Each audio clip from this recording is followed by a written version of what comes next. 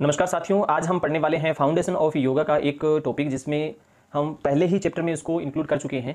जैसे हमने last topic में देखा कि योग का ओरिजिन क्या है और योग की उत्पत्ति किस प्रकार हुई है। तो हम इसकी हिस्ट्री भी एक साथ पढ़ने वाले हैं जो कि आपको नेक्स्ट वीडियोज़ में बहुत जल्दी देखने को मिल जाएगी। लेकिन अभी जो टॉपिक हम ले रहे हैं वो है एम ऑफ़ योगा और इससे नेक्स्ट जो वीडियो आएगा वो आएगा ऑब्जेक्ट ऑफ़ योगा या गोल ऑफ़ योग क्या होता है। तो यहाँ पर हमें बात करने वाला हूँ एक सिंपल सी टॉपिक की अंडरस्टैंडिंग की। आप इस चीज़ को समझें कि एम ऑफ़ योगा क्या है। योग का जो लाइफ का एम है, वो क्या होता है। टारगेट मूलभूत मतलब जो लास्ट अल्टीमेट टारगेट क्या है?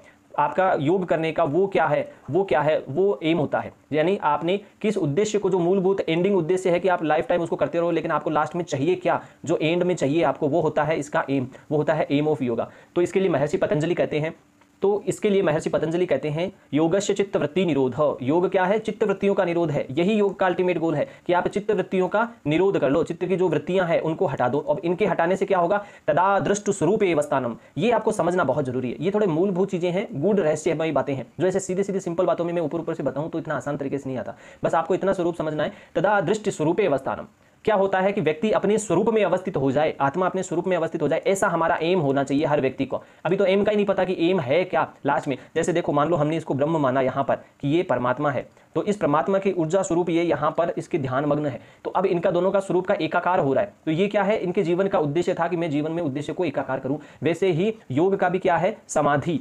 योग भी, समाधि है, जीवित भी हो सकती है, मृत भी हो सकती है, मृत्यु उपरांत भी मिल सकती है, जीवित भी मिल सकती है, ये डिपेंड करता है। जब हम समाधि के चैप्टर को पढ़ेंगे पतंजलि योग सूत्र में, तब हम देखेंगे कि कितनी प्रकार की समाधियाँ होती है किस किस प्रकार के माध्यम से वो हमें प्राप्त होती है। तो यहाँ पर हमें इतना उद्देश्य रखना है कि the aim of yoga ultimate क्या है? वो है अपने स्वरूप में अवस्थित होना, समाधि तक पहुँचना। दैट्स फिनिश दैट्स फिनिश यही है। कि आपको समाधि तक पहुँचना है। अब समाधि को पहुँचने के लिए आपको विभिन्न प्रकार की योगी क्रियाएँ करनी पड़ेगी। आपको आसन लगाने पड़ेंगे, प्राणायाम को साधना पड़ेगा, ध्यान करना पड़ेगा और फिर अंततोगत आपको समाधि मिलेगी। अब इसमें एक दो बात और याद रखनी है कि यदि यूजीसी नेट में क्वेश्चन आ जाए कि what is the aim of yoga तो वहाँ पर अल्टीमेट एक ही चीज़ आएगी, वो आएगी केवल्य या मुक्ति या फिर निर्वाण या फिर मोक्ष। ये चार वर्ड एक ही चीज़ को डिपेंड करते हैं और वो समाधि के है।